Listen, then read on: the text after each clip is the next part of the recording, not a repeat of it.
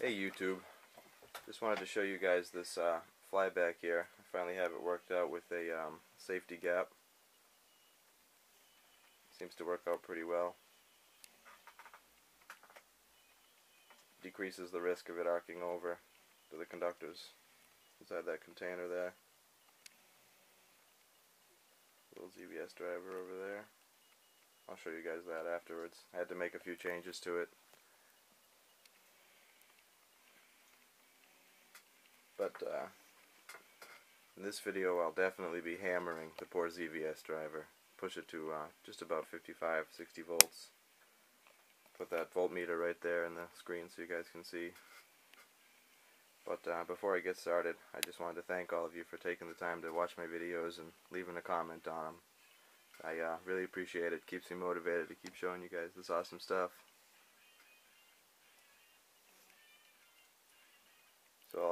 I'll show you what uh, 55 volts can do with this setup.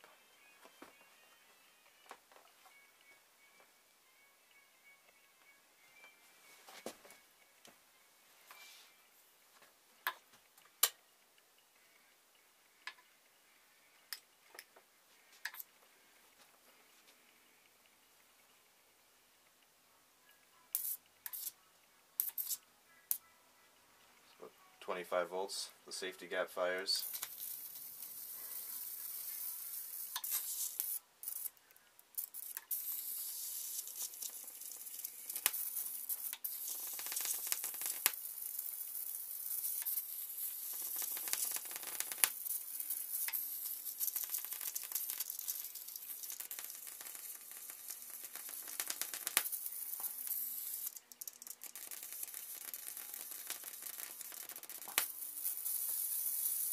Sixty volts.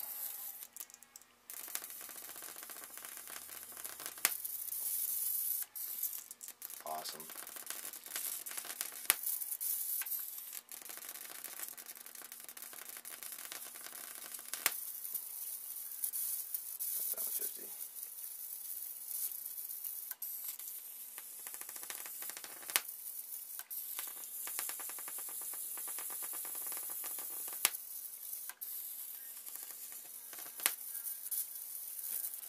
Zoom in a little for you guys.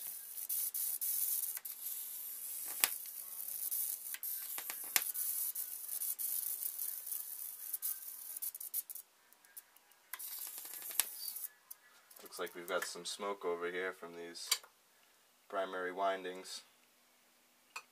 They definitely can't handle too much of that.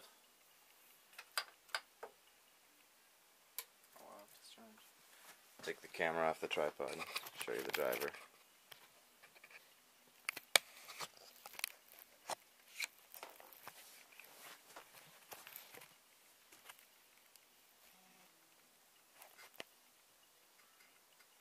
These leads right here get quite uh, quite tacky after a little bit of that. I'm starting to melt, but they're only 16 gauge conductors, so they're definitely not meant for what I just did to the poor things. the safety gap.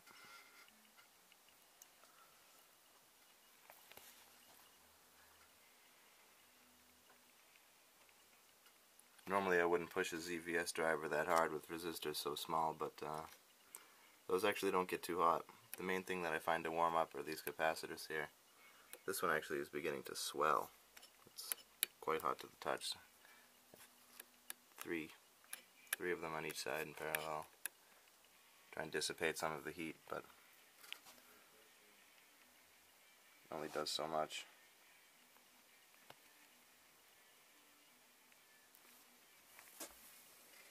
As far as the flyback goes, no issues at all. The oil is still very, very cool.